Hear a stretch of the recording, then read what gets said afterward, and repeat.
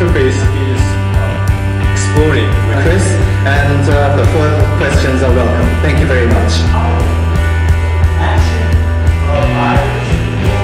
한국뿐만 아니라 전 세계적으로 이제 스타트업에 대한 부분이 상당하고 참 어, 자랑스럽게도 그의 중심에 한국에 서, 한국에 서 있는 것 같다는 느낌을 좀 받았습니다. 사실 한국도 이런 어, 실리콘밸리 못지않은 아시아에서 중심 국가가 될 수 있겠다라는 어, 기대감을 갖게 한 자리인 것 같습니다. Asia Beat conference this year, I think is it's amazing. I can feel when I get here the energy and the potential and the, the, the forward-looking uh, mindset of the, the players here. Uh, Asian Beat is a great place because there's a lot of networking and you know startups, other corporates, you meet venture people.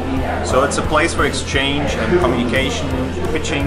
So you can engage with the Korean uh, players in the Korean market and um, improve your business. We met uh, some of the startups here who uh, we're going to, uh, you know, follow up with and, and maybe make some business with.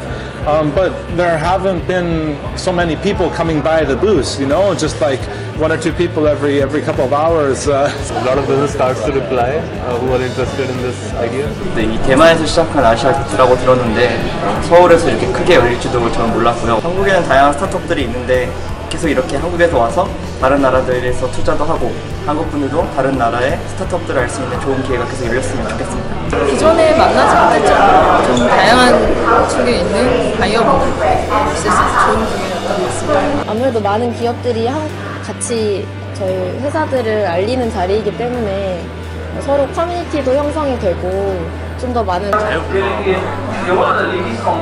실리콘 밸리 스타트업한테 날개를 달아줍니다.